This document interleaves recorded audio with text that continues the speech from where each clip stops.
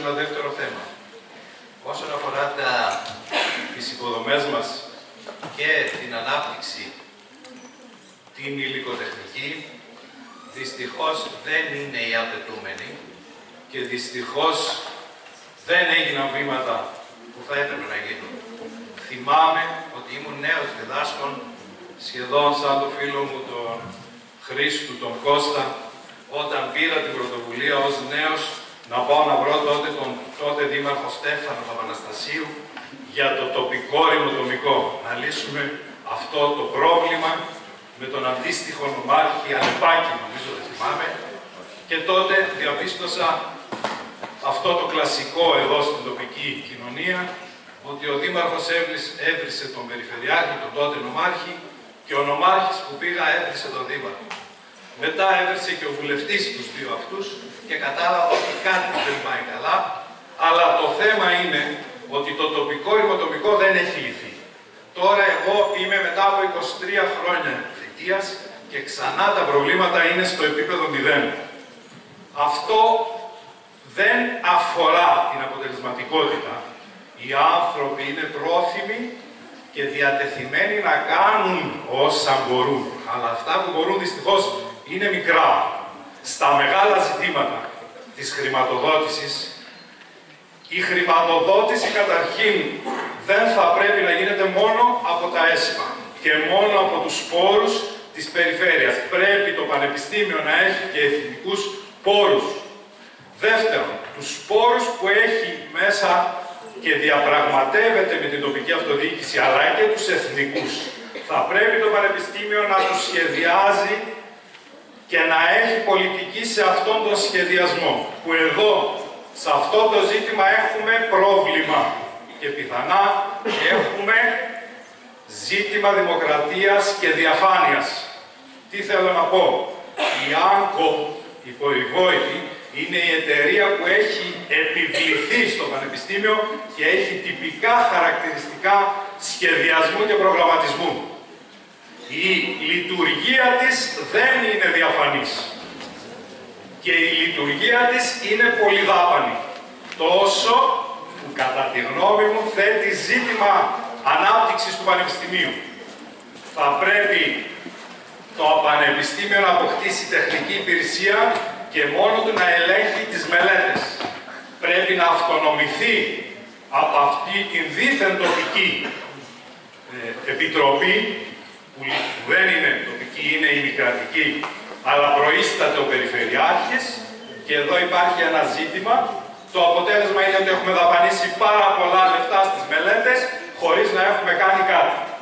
Κανείς δεν έχει την ευθύνη σε αυτό, κανείς δεν ξέρει. Το Πανεπιστήμιο πρέπει να ξέρει, πρέπει να κάνει δικιά του υπηρεσία τεχνική και πρέπει τελικά να διαλευκανθεί και να ξεκαθαριστεί αυτό το πρόβλημα και το αρνητικό στοιχείο ανάπτυξης του Πανεπιστημίου. Το λέω σε εσάς τους νέους φοιτητές, γιατί μόνο με τη δημοσιοποίηση και μόνο με την ε, κοινοτοποίηση μπορεί η Ελλάδα να καθαρίσει, μπορεί η Ελλάδα να γίνει αξιοκρατική, μπορεί η Ελλάδα να καθαρίσει και την τοπική της αυτοδιοίκηση που πιστεύω ότι έχει προβλήματα λειτουργίας και διαφάνειας. Συγγνώμη τώρα για την ε, παρέμβαση, αλλά επειδή τέθηκαν κάποια θέματα που νομίζω πρέπει να τα εξηγήσουμε και στους ε, φοιτητές όσον αφορά τη διαδικασία. Οι ευθύνες διαχρονικά στην τοπική αυτοδιοίκηση, συμφωνώ απόλυτα με τον κύριο Λεμονίδη, ότι μπορεί να υπάρχουν επί δεκαετίες ολόκληρες. Εγώ τη συνυπογράφω και επαυξάνω. Το θέμα είναι όμως ότι τι γίνεται από εδώ και πέρα. Ποιος είναι ο σχεδιασμός, τι οραματιζόμαστε και τι θέλουμε να κάνουμε. Λοιπόν, από τη μεριά τη δική μας, θέλω να γνωρίζετε, δεν μας ενδιαφέρει τι έγινε στο παρελθόν και για το ρημοτομικό, θα πρέπει να ξέρετε ότι ήμασταν εμείς, μαζί με την περιφερειά, αντιπεριφερειάρχη Ενέργειας και Περιβάλλοντος την κυρία Παναγιωτίδου, που πήγαμε και ανακαλύψαμε ότι από το 1999 το ρημοτομικό ήταν στα σιτάρια του Υπουργείου Περιβάλλοντος. Αυτό όμως ήταν ένα θέμα διαδικασίας και του ίδιου του Υπουργείου. Δυστυχώς στη χώρα μας, δυστυχώς επαναλαμβάνω, οι διαδικασίες είναι και χρονοβόρες, αλλά θα έλεγα πολλές φορές, αν δεν κάποιος δεν τις παρακολουθεί, μπορεί να είναι και αιώνιες. Δηλαδή να μην λύθουν ποτέ. Αυτή είναι η πραγματικότητα και αυτό πρέπει να το ξέρετε. Η δημόσια διοίκηση χρειάζεται συνολική μεταρρύθμιση, κύριε Μπρίτα. Για να μπορέσει να αξιοποιήσει και τις δυνατότητες τις παραγωγικές, αλλά και να δημιουργήσει συνθήκες ανάπτυξης στον τόπο. Αυτά είναι θέμα νομοθεσίας και αυτά πρέπει να αλλάξουν. Τώρα, επειδή υπόθηκαν κάποια πράγματα με τους παλιότερους δημάρχους κτλ. Μπορεί να μην υπήρχε αυτή η χημεία. Αυτά όμως δεν πρέπει να τα αναφέρομαι. Ε, ούτε σας ενδιαφέρουν εσάς τι γινόταν παλιότερα. Θα πρέπει να δούμε τι θα κάνουμε από εδώ και πέρα. Η Άγκο, όσον αφορά την πικρία που εξέφρασε, ο κύριος Πρόεδρος, ως ένα βαθμό τη δικαιολογώ, γιατί όταν εντάσσεις κάποια έργα σε σύνολο περιφέρειας, πρέπει να αξιολογείς και τις δομές που υπάρχουν σε κάθε περιφέρεια, σε κάθε περιφερειακή ενότητα. Το Πανεπιστήμιο Δυτικής Μακεδονίας στήθηκε και ξεκίνησε να λειτουργεί ως όραμα και ως ιδέα, γιατί υπήρχε η Ακαδημία της Φλόρινας. Και αυτό πρέπει να το αναγνωρίζουμε. Αν δεν υπήρχε αυτή η σχολή, δεν θα υπήρχε και το Πανεπιστήμιο. Αυτή είναι η πραγματικότητα. Και να είστε περήφανοι, γιατί πράγματι οι σπουδές που κάνετε με, σε αυτή την σχολή είναι ίσως μέσα στις δύο πρώτες καλύτερες στη χώρα μας.